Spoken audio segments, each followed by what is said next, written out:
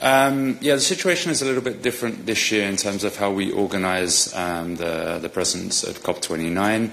Uh, as you know, in the past we've had uh, a big side events programme organised in the EU Pavilion, and that has included representatives of a whole range of stakeholders, uh, including some industry representatives, of course, when we're talking about the energy transition.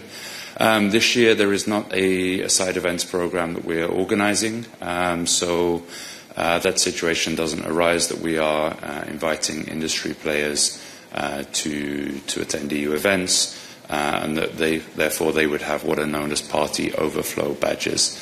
Um, so yeah, I think um, I, I, would have to double check um, to be 100% sure with colleagues that there are um, no cases uh, of that happening, um, but I'm pretty sure that that will be the case this year. Thank you so much.